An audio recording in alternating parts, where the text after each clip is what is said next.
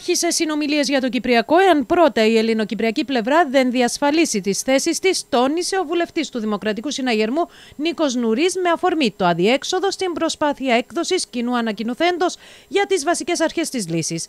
Θα πρέπει, συμπλήρωσε, να ακολουθήσουμε στοχευμένη πολιτική, γιατί σε αντίθετη περίπτωση θα σημαίνει και αποδοχή των θέσεων της άλλης πλευράς. Θέλουμε είναι να μπούμε σε μια διαδικασία με προδιαγεγραμμένο τον στόχο και τις δικές μας επιδιώξεις και θα ήταν ολέθριο λάθος, όπως και ο Πρόεδρος έχει επαναλάβει, να μην υπάρχει προοπτική σε αυτόν τον διάλογο και δεν θα μπούμε σε ένα διάλογο ατέρμονο. Δεν αξιοποιήθηκαν τα κοινά ανακοινωθέντα Δημήτρη Χριστόφια και Μεχμέτα Λιταλάτ και σήμερα καταβάλλεται προσπάθεια να πετύχουμε ότι είχε κατοχυρώσει ο τέος πρόεδρος της Δημοκρατίας σχολίασε ο εκπρόσωπος τύπου του ΑΚΕΛ Γιώργος Λουκαίδης και συμπλήρωσε πως το κόμμα του στηρίζει μεν τον πρόεδρο της Δημοκρατίας αλλά εκφράζει και ανησυχία. Ουσιαστικά καμιά καινούργια σύγκληση δεν υπήρξε με τον κύριο Έρογλου δεδομένων των θέσεων. Πώς ήταν δυνατόν λοιπόν κάποιος να αναμένει ότι θα μπορούσαμε να πετύχουμε κάτι καλύτερο στο τελικό αποτέλεσμα με τον κύριο Έρογλου παρά με τον κύριο Ταλάτ.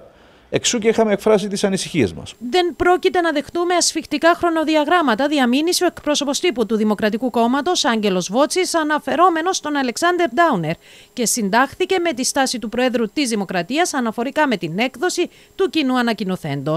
Δεν μπορείς να μπεις σε μια νέα διαδικασία χωρίς να έχεις μια συμφωνημένη βάση η οποία να ξεκαθαρίζει τις αρχές και τους στόχους τους οποίους θα πρέπει να έχει αυτός ο νέος διάλογος. Την ανάγκη καταρτισμού στρατηγικής για λύση του Κυπριακού επεσήμανε ο γραμματέας της Κεντρικής Επιτροπής της ΕΔΕΚ Δημήτρης Παπαδάκης. Νομίζω ότι είμαστε σε λάθος βάση. Έχουμε επικεντρώσει την προσοχή μας στο κοινό ανακοινωθέν και δεν έχουμε επικεντρώσει την προσοχή μας εκεί που πρέπει. Δηλαδή, αν η Τουρκία έχει αναγκαστεί να προχωρήσει σε λύση του Κυπριακού. Αρκετά με τον κύριο Ντάουνερ να απομακρυνθεί άμεσα, ζήτησε ο αναπληρωτής πρόεδρος του Ευρωπαϊκού Κόμματος Μιχάλης Γιοργάλα.